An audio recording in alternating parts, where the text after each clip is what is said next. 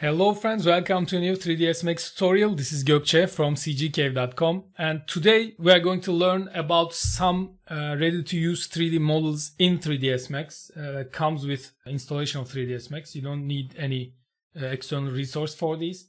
But uh, I want to make an introduction. Now, right now we passed editable spline. Uh, we did a lot of tutorials about that and we are going to go into edit poly, editable poly.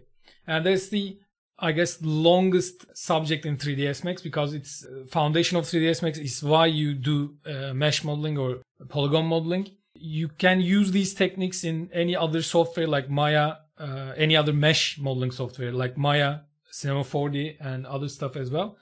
Uh, of course, we are going to use 3ds Max. But before we dive into uh, Edit Poly, I wanted to just show you some ready-to-use models in 3ds Max, like windows, like doors, like walls and stuff. Uh, so let's go through these in like five or six lessons, and then uh, we are going to dive right into edit poly, and then uh, in the rest of these lessons we are going to discuss edit poly modeling and the technique you can model anything uh, in any mesh modeling software. So whatever, let's uh, stay on subject right now. Let's talk about these ready to use 3D models in 3ds Max. So let's go to create geometry. Under here we have sub uh, title called Windows, and you have six window types in here. Uh, let me just ri right away show you one of these, like awning uh, window, for example. You can just select this, uh, click and drag to create the base uh, length of the window, then release, and you need to set a depth in here, and then you will set the height of the window. so I clicked and drag, click and click again. So you need to do uh, three clicks. Uh, don't miss that. Uh, if you don't do it, the command will cancel itself, so you won't be able to have a model, a window model in your hands. Uh, I know that yours doesn't look exactly like mine. Uh, I'm going to show you how to change the properties of this. If you, while this is selected, if you go to um, the modify tab, you will see that we have a height, a width, and a depth value in here. You can play with these. And then we have uh, frame width, you can see that we have we can make these parts thicker or thinner from here. Uh, you have the vertical uh, thickness or width where you can play with these parts. And the thickness value is the thickness of the windows uh, inside. As you can see, the case, case of the windows inside here. Let me play with this again. And then we have a glazing thickness, which is the thickness for the uh, windows uh, or the glass parts of the windows. Uh, we have the rail and panel thickness. You can see that we can play with these parts. You can change the panel count from here. You can just make this uh, a only with one panel. And if you zero this uh, open value out, then you can see that I have uh, I guess this will match uh, what you are seeing in your viewport right now. And uh, you can see that you can play with this value and open the window a little bit and then change the panel count in here and create different or more interesting windows. So now that we know these, let's delete this and try out the other types. Casement, let's play with this. I've created one and now I can change the i'm not going to go through all of these again. Uh, you can play with these values again and let's see the difference between the uh, first one and this one. Uh, you can see that we have a panel width a, an open value in here. Yeah this is more uh, classical uh, of a window i guess. You can have two uh, panels as well as you can see.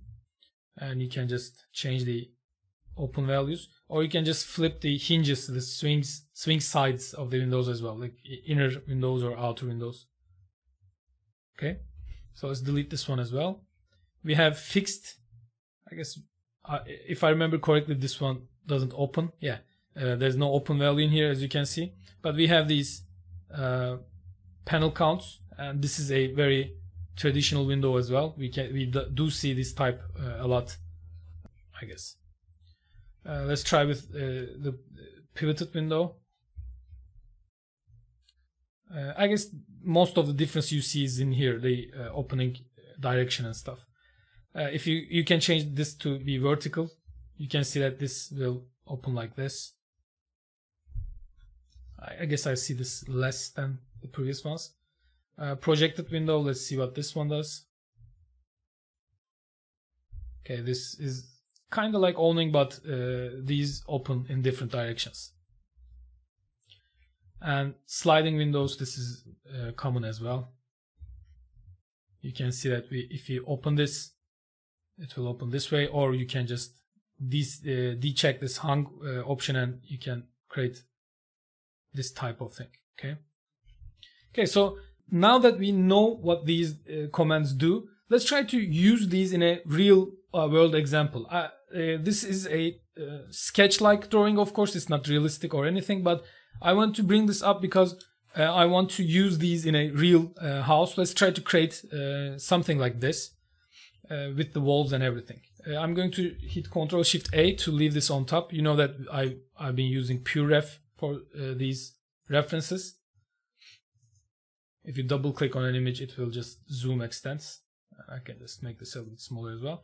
Okay, now let's uh, start with the uh, base of this. What I do is I know uh, a average door is uh, the average door height is 210 centimeters and 2 meters and 10 centimeters uh, rather. So what I do is I just measure this with my eye and then try to figure out this height from this one. Okay, so whatever I'm modeling, I I try to understand one of the, or I try to find out one of the dimensions, and then I try to measure rest of the image from that dimension that I figured out. So let's say this is 210. Uh, if you, if I put this, uh, of course I'm doing this imaginary, but you can do this in Photoshop or whatever you want. But I recommend you to eyeball this stuff because you need to be real quick uh, while modeling stuff. So you need to do these things automatically most of the time. So let's say this is 210. And if I just put it here, it should be somewhere like here, 210, 210, uh, which is 420. And then we have a 150 like thing in here. So if we, uh, I put all these together, I will end up with uh, 570 centimeters.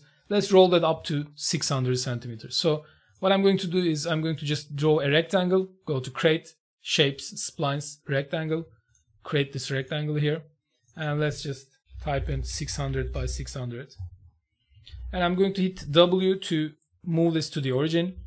Then I'm going to add an edit spline on top of this. Hit 3 to go to the spline mode and select the spline. And let's create a thickness from this. Let's type in 20 and we will end up with this shape. Then I can add an extrude on top of this. And let's set the height to 300 centimeters. Uh, this is uh, only one story in here. If I want to put the second story on top, I can just copy this up. Uh, but first, let's uh, start with this. Then I'm going to create uh, the rest of the building. Okay, now we have uh, two methods we can use to open up holes on the wall. I, I, will recommend you to use ProBoolean for this example. Generally, I don't really recommend ProBoolean, but we don't uh, still really know edit poly, so let's just go with uh, ProBoolean for this example. To use ProBoolean, you need to create uh, the uh, object to create the opening width. So I'm going to just create this box in here, and I'm going to set the length to 110, 110, and 210. Okay, and then I'm going to just place this wherever I want. Let's say I want to be here. Or you can just go with re, uh, exact dimensions. You can hit S, just move this corner to here, and then move it in minus 110 centimeters, for example. Uh, you can place it like this as well if you need exact dimensions. Uh, I'm doing vis visualization most of the time, so uh, the exact values, exact dimensions are not that important for me. But if you're an architect or an engineer, then of course these uh, will be more important. So I'm, I wanted to show you how to do that as well. Okay. So our door opening is its uh, is at its place. So I'm going to just select the wall, go to create, compound objects, ProBoolean.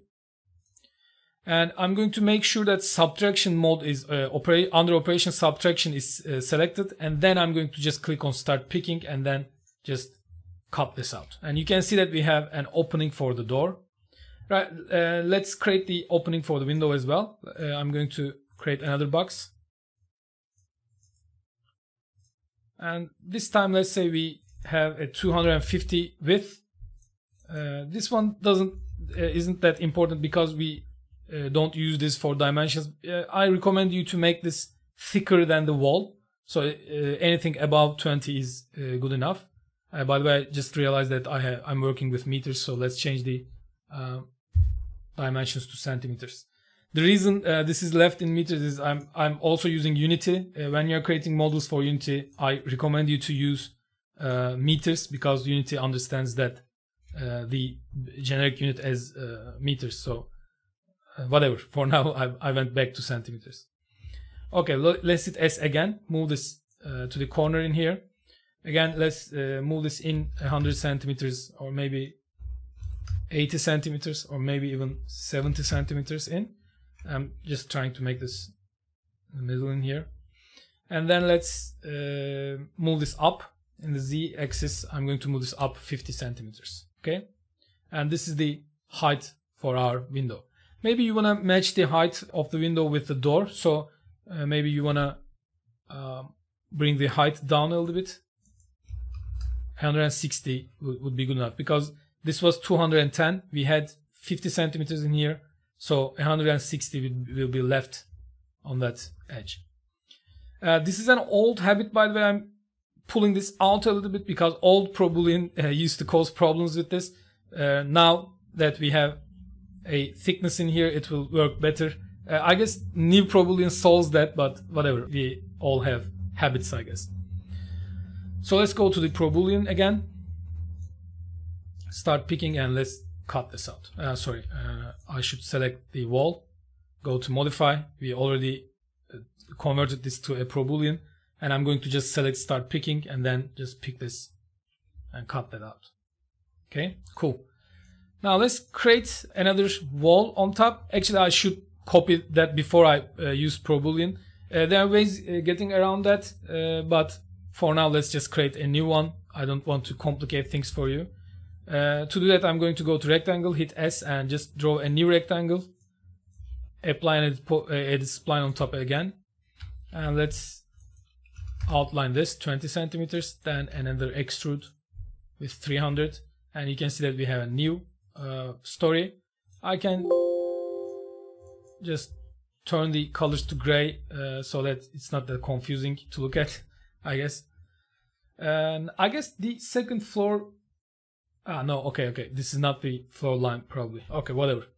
Let's create uh, uh, two more openings for these windows. Let's go with boxes again. Uh, this time I want to create a, a, box with dimensions of 50, 180, 200. Maybe this is a little too much. Uh, let's change this to 120 and let's change this to 150 uh, place it. I will look at this again, but for now, let's leave it like that. I'm going to just, just hit S again, move this to the corner. Maybe this time, let's move it this corner to this corner. And let's move this in 150 centimeters, maybe 120 centimeters. And move this up 8, oh, sorry, in the z-axis. I'm going to move that up 80 centimeters, okay? And I'm going to hit Control V this time to create a clone of this. Then I can just move it to the other side or you can just input values again. Let's input 200, maybe 250. 240 yeah this is good now I can just again apply a pro boolean start picking and let's cut these out Okay, we have our walls set. Now I want to just uh, place some windows to the openings. Okay. Now this window looks like the one we used uh, the fixed one, I guess. Okay, let's try try that out. If it doesn't work out, we can change it. I'm going to hit S. Uh, just be careful about this because placing windows is a little bit tricky. What you need to do is you need to start from this corner and go to this corner in here. Just release your mouse, create the depth and then create the height okay that's what you need to do while placing the window let's change the color of this as well. And we you can see that we already have a similar window to this one. You can of course play with these like let's create the, uh, let's change this to have two panels i guess or two yeah two by two panels. And maybe increase the depth a little bit so that we have uh, some parts sticking out in here that will make it look a little bit more realistic yeah and maybe we can change the thickness uh, for the panels uh, uh, sorry this width value is that so I'm going to just change this to 4 uh, so that I can make it 4 by 4 okay and let's uh, create a copy of this with Control V and then move this 240 centimeters. Uh, that was our distance between these two windows. And let's create one in here as well. I'm going to just go to fixed window again. Uh, I'm not really recommending to use these uh, instead of modeling these windows. Most of the time you will need to model these but these are good base uh, objects. What you can do is I'm going to show you one cool thing. What you can do is you can add an edit poly after you model create this and then you can hit 4 for example and select the faces and play with these faces. Okay, you can edit the model after you created it. So uh, these are good base uh, objects. So uh, I recommend you to think of these like that. Okay, let's uh, decrease the panel uh, segments to one by one and then we have this window as well okay uh, okay in the next lesson i'm going to show you how to create the door so uh, let's leave the door uh, to the next lesson and then maybe we will add some more things and uh, finish up this model. And it could be a good introduction to edit poly as well by the way.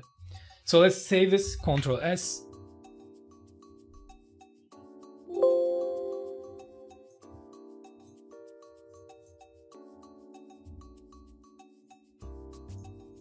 And